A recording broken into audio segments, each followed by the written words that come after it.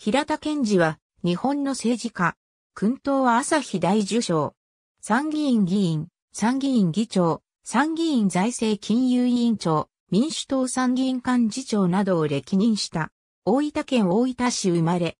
幼少期、宮崎県延岡市で育つ。延岡市立延岡中学校卒業後、奨学金が支給される旭化成工科学院に学んだ。卒業後、旭化成工業に入社した。その後友愛前線同盟に加入し、連合三重事務局長を務める。1995年、第17回参議院議員通常選挙に、新進党公認で岐阜県選挙区から出馬し、初当選。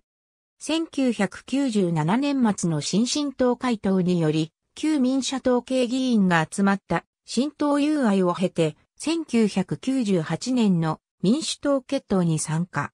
政権交代後の2009年10月、参議院国会対策委員長に就任。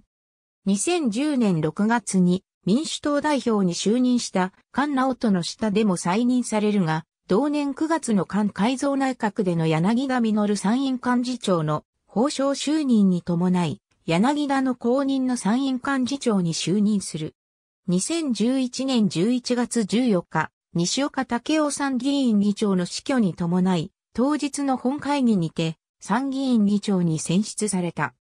当選3回で閣僚未経験の平田を公認の議長とすることについて、自由民主党は当選4回で閣僚経験のある副議長の大辻秀久とバランスを欠くとして当初難色を示したが最終的には同意し、選出投票は全会一致であった。2013年7月28日、第23回参議院議員通常選挙不出馬のため、政界引退。2014年11月3日、多年にわたり国会議員として議案審議の重責を果たすとともに参議院議長等として国会の円滑な運営に寄与した功労により朝日大受賞が授与された。その後は民主党、民進党で岐阜県連常任顧問を務めた。ありがとうございます。